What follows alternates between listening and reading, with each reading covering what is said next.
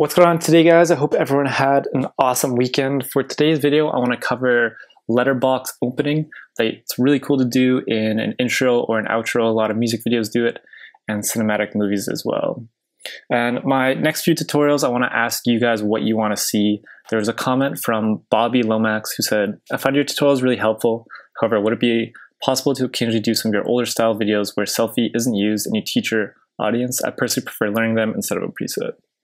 So if you guys want to see more sort of all in Final Cut videos, let me know. If you guys like the presets, let me know as well. Um, but I'm definitely going to try and mix it up. So thank you, Bobby, for your comments.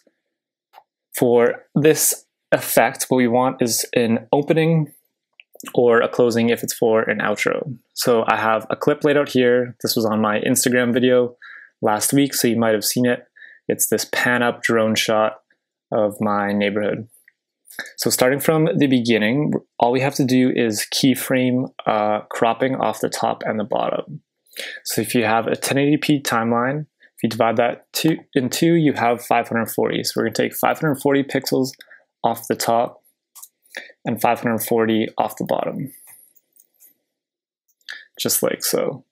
So now depending on how long you want your opening to be is how far you move your playhead and you can keyframe that. I like to do longer, around four seconds should be pretty cool.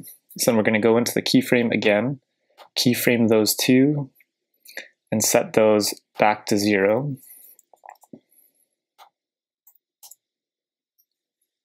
So now what we'll have is an opening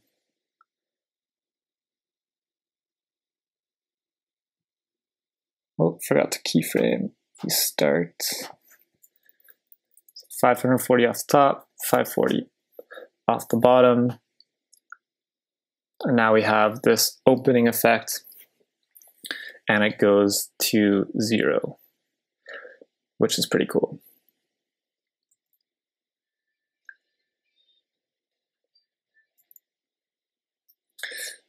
So now if you want to add in the letterbox, what you could do is either where you keyframed zero, you could either keyframe 265 pixels, or should be 132 pixels and 132 pixels. So now this adds in the letterbox effect at a 2.35 aspect ratio.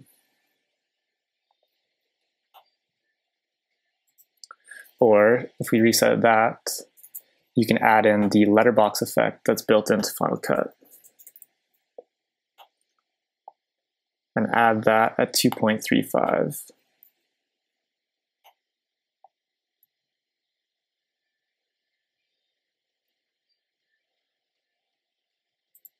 And then that will stop there.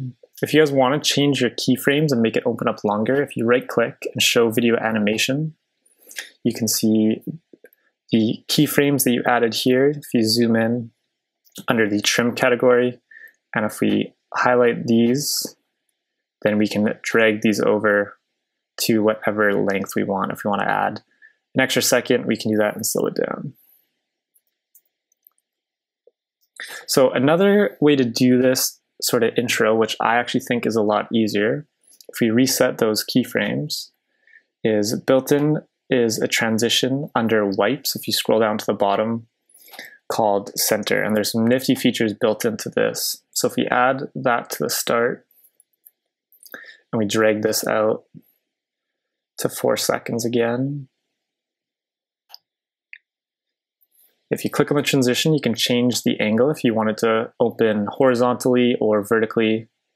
I'm going to have it open horizontally, just like we had before. So if we add that, and what's built into here is edge treatment, which is pretty cool. I'm just going to set the direction to open. So within edge treatment is you can add a feather, which looks really cool for an opening sequence. It's very cinematic.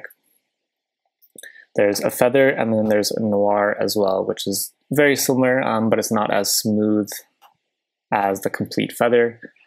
Feather, you don't really see a hard edge, whereas noir, you'll see a more of a distinct edge. So I like noir actually. That's what I like to use. So now if we play this,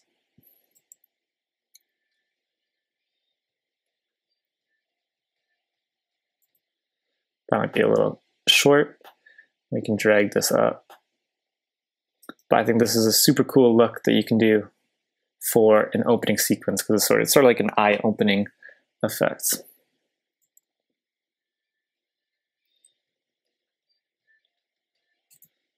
So looks really cool in the intro. If we copy that transition and put that at the end, we'll see what this looks like.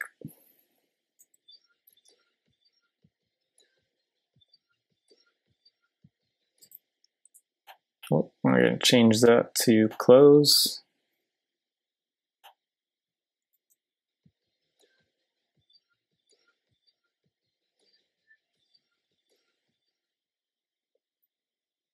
I don't know. I think this effect is super cool and super simple. It's a subtle touch that you can do for the beginning and ending of your videos. If you guys like this video and you want to see more all in Final Cut tutorials, please comment them down below. Leave a like and a subscribe if you haven't yet. Thanks for watching, guys, and I'll see you next time.